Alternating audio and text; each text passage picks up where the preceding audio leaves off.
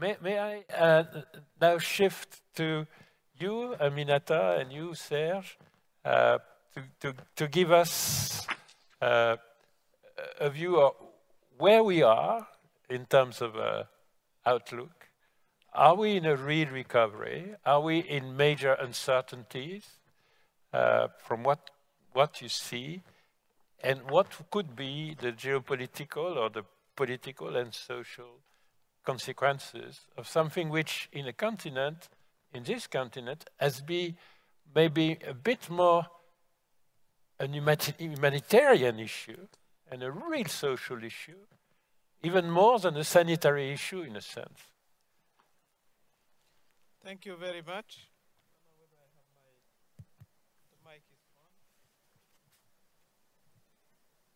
Well, uh, I think that first of all, WHO and the United Nations owe Africa an apology, and we're still waiting for it. It was announced that we would die by a million. We didn't. We are very much here and standing. So that, apo that apologies are to be sent to us. Um, many theories, you know, uh, came up. That's because we were eating a lot of, we were taking a lot of uh, uh, chloroquine uh, to fight malaria. That's why we were more resistant, etc. But I think it was just the result of the underestimation of the capacity and the abilities of African countries to, to, to deal with crisis. yet, if we, uh, if the analysis was made a little bit uh, deeper, um, WHO would understand that we have the biggest experience in terms of find, uh, fighting pandemics. I was prime minister when Ebola uh, struck in uh, starting in, in, in, in, Sierra Leone, in, in Guinea, etc.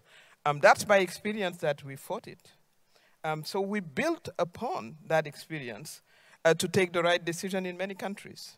Um, that was not a complete lockdown. That was sometime halfway because it, it wasn't possible to do what happened in Wuhan, impossible in, uh, in, in Africa.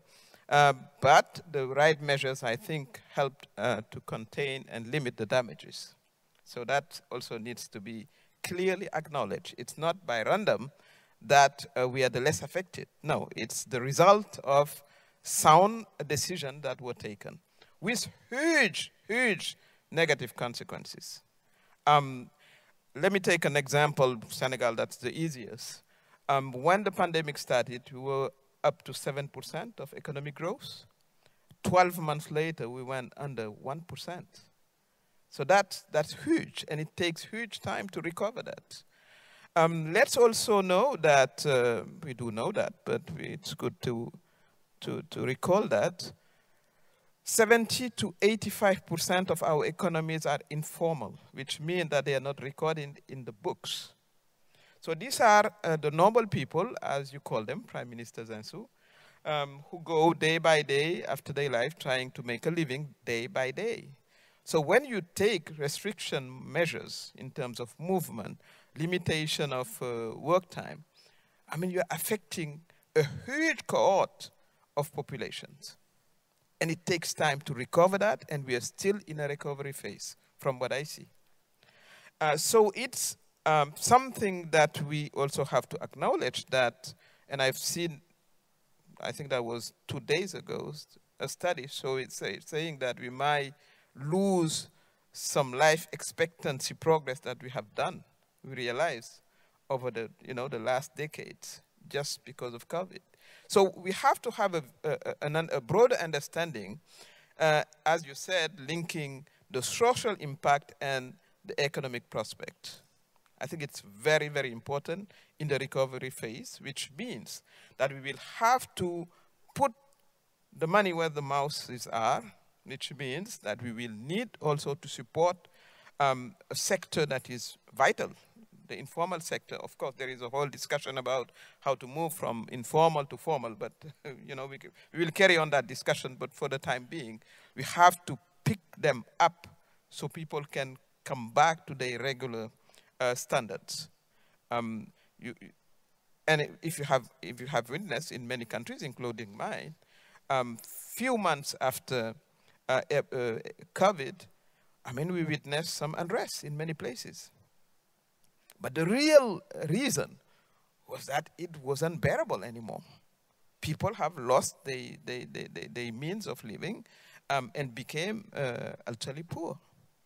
So if we want to uh, sort of look into the future, but at the same time, uh, that was a great experience to, to, to build upon from a governance perspective. Of course, as I said, for the poorest and the most vulnerable, that was a, you know, a dramatic experience, and they're still recovering. But for the government, in terms of budgeting, uh, what it also, um, what lesson we have learned is that we can also count on our own strengths, because that's what we have um, demonstrated. A great resilience um, in, the, in, the, in, in, the front of what we have seen. Um, somehow, uh, COVID was sort of a wake-up call for dreamers like all of us. That's why I'm, you know, so uh, happy that this gathering ha is happening, because the first uh, collateral damage of COVID was multilateralism. International cooperation was dead, as we know. It was impossible to move from a country to another. Uh, airplanes, everything, you know, went uh, closed. And of course, um, we all have witnessed the, the, the fight over, you know, this one, the mask, let alone the vaccine. And that is also a question that is very important. So that's where it's important to link the health and the economy. Because that's a slogan, but it's so real. Nobody's safe until we all are safe. I mean, we know that there is 194 UN membership, but if we don't take the right course of action, we would end up with 194 variant of the COVID. So we are in this crisis for a long time if we don't take the proper measures. But what we are seeing, nationalism around vaccine, countries would have even the means to, to, to buy, and not having, you know, anybody to, you know, uh, from who you can you can you can you can buy the vaccine because people are now in third um, dose of vaccine while others, as uh, it was said, we are very privileged. Um, but how long we can sustain that and at the same time uh, expects to have a full recovery of uh, the international economy.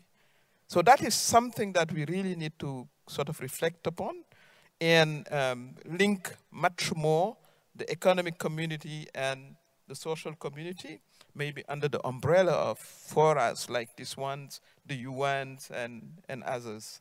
Um, so that is uh, something that we, we, we really need to reflect upon. But we also learn, um, you know, from a governance point of view, that there are immediate and urgent action to be taken. It's how Africa is going to build its medical and pharmaceutical independence. For me, it seems like the, the critical question that uh, the African Union needs to, uh, to, to solve and to make progress upon. Um, that's what we have learned. Until you get, you know, uh, independent, when we, because we, we, we saw it, you know, I mean, that was really sobering, as a matter of fact. You know, we've been you know, conceptualizing about globalization, the global village, etc. But we saw that we were very far from that. We immediately uh, felt into, you know, very hardcore nationalism that we haven't seen, I think, for a long time. Um, so from an Africa point of view, I think we have to move forward in terms of having collective projects. Um, we're only commercing between ourselves up to 12%. In the rest of the world, it's 60% in Europe. I think it's a little bit less than 60% in Asia. We are just 12%, which means that we have a, a space to, to, to, to, grow. But we have to uh, sort of uh, go beyond the boundaries and, and see how we're going to put together, I mean, this major, major, major project. And the first one being, as I said, uh, the medical and pharmaceutical um, uh, independence because the last thing we would like to see happening is COVID becoming sort of a public um, health permanent issues. You know, staying between one, two, three percent for the rest of the time. And if we don't take the course of the right course of action, that's what is going to happen. And we know who are the ones who are going to suffer the most, as we know it. Uh, you know, it's the same for all pandemics. It's going to be those who are the most vulnerable in rural areas, uh, you know, women and, and young people most of the time. So making the link between what happened and even the stability of the continent and the need to have internal response to the challenges seems to be very important to me. That opened up the question about industrialization. That was the same thing. Because as we commerce only 12% between ourselves, um, we, we import most of you know, the goods that we consume. Um, we, not, we, we realize that, well, we have to produce simple goods, and that's also an opportunity for you know, the, the, the rest of the world to invest in Africa. We think that industrialization, more than ever, in the eyes of you know, what we are, the pandemics and the, the lesson learned from the pandemics, I think uh, we cannot postpone any longer our industrialization you know, uh, prospect. Um, and I think the good way to start might be in the pharmaceutical uh, sector, but also in all sectors. Um, because we face also um, uh, the whole issue around procurement of simple things, uh, syringe sometime. I mean, simple things. Uh, and that's the lesson that really we want to learn. Um, and it opened up also the, the, the, the, possibility of creating jobs in a continent where 70% of the population is below the age of 35. So it's a mixed. Um, of course, we resisted. We've been resilient because we were the less affected, and it's not by random. It's because we demonstrated capacities uh, in terms of taking the good actions. But at the same time, we suffered a lot because we didn't, of course, we didn't see uh, what we thought happened and was the reality. Multilateralism and international cooperation just was wiped off the, off the table. So we had to cut it to ourselves, which is a good thing. I think it reinforced our self-confidence and we have to carry it forward in terms of, as I said, our sovereignty when it comes to medical and pharmaceutical, but at the same time globally in terms of industrialization. So I think it's challenging, but at the same time, it's open up avenues that we have to courageously uh, take up. Thank you. Thank you very much, Madam Prime Minister. Uh, you, you addressed the complexity of the situation and the dualism of the situation. Uh, I liked very much when you say that uh, Africa has been resilient, has uh, beca become aware of its own strength, uh, has, been, has been well uh, and quickly organized in a sense, and globally was underestimated. Uh, so there was a performance of Africa, and the resilience is not a hazard. Yet, you are emph emphasizing uh, the informal sector situation, which is a major difference that we share maybe with some countries in uh, the Indian subcontinent. Sorry, but which is very different from the rest of the world, where 50% of our GDP in sub-Saharan Africa uh, is made by the informal sector. Uh, in your country, it's probably 80% of employment. It's 90% in mine. But even in a bit more uh, advanced countries in terms of evolution, like Maghreb, uh, it remains 30 to 40% of the employment. And the number one uh, creator of new jobs. Yet uh, we had no means for the government to support efficiently this informal sector and the SMEs in general in our countries uh, are, are, very small uh, uh firms. Uh, we had not the same uh, public finance resources uh, to support the households and the SMEs and the corporate world in general. Nothing like in the OECD countries.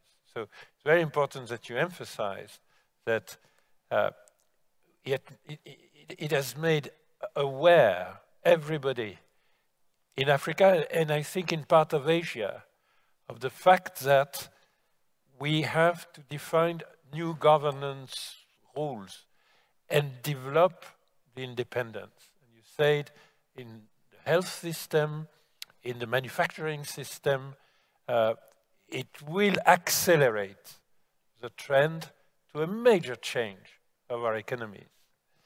Uh, because yes, we can, in certain extreme situations, be efficient, but we have structural uh, weaknesses. What is important is that we know that we, we can address them and tackle them. And that is a major change. It's not purely a question of recession and recovery. It's a major change for the, for the future.